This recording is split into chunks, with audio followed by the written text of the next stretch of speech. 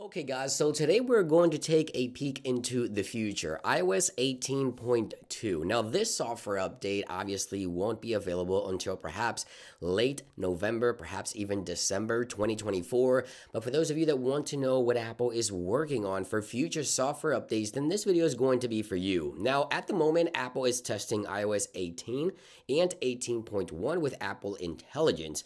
But with iOS 18.2, there's a few features that will be making changes changes to the iPhone that I think some of you guys may want to learn about. Now, the first feature I want to talk about is ChatGPT integration with iOS. Yes, Apple and ChatGPT, OpenAI, are working together, and with Apple Intelligence releasing with iOS 18.1, 18.2 will build upon that, adding ChatGPT support for Siri within iOS 18.2. And this is one of the features that many users are waiting for. This will make Siri a lot smarter, and hopefully, ChatGPT will continue on its partnership with Apple moving forward. And now, another Another feature that many iPhone users are looking forward to is Genmoji. Now, originally, Genmoji was going to be featured with iOS 18.1, but it looks like Apple has changed their mind and this feature has been pushed back to iOS 18.2. Now, Genmoji obviously allows you to create custom emojis on your iPhone to share with other iPhone users.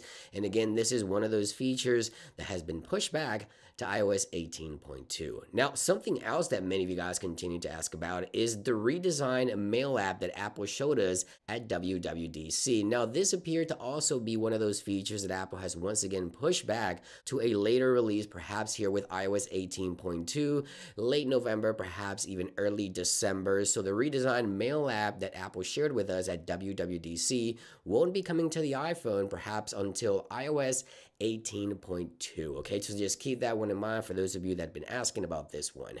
Now, something else that I wanted to talk about, and this one is for the EU only. Now, for the EU, you'll be able to select a custom or a different default browser. So, what does this mean? So, basically, for EU customers on the iPhone, you'll be able to select other browser as your default, not only Safari. Okay, so when you click on a link that someone may send you as a message or on an email link, it will bring you to Safari automatically. Well, for the EU, you'll be able to choose any browser of your choice as your default browser. And I wish Apple would just bring this to, you know, the US here as well. Many users may want to choose a different browser other than Safari. I personally love Safari, but I think having the choice is a lot better. So hopefully default browser options will be coming to the rest of the world, but with iOS 18.2, it will be available for the EU. Now, last but not least, something that Apple also mentioned at WWDC is the robot vacuum support for the home application. This this is a feature that I know many are waiting for.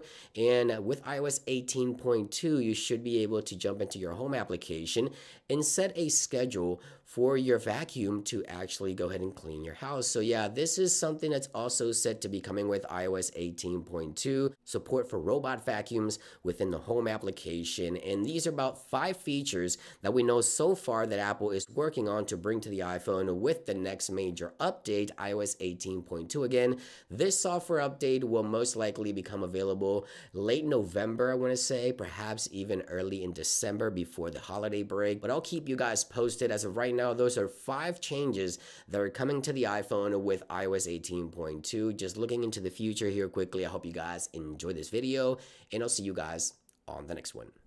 Peace.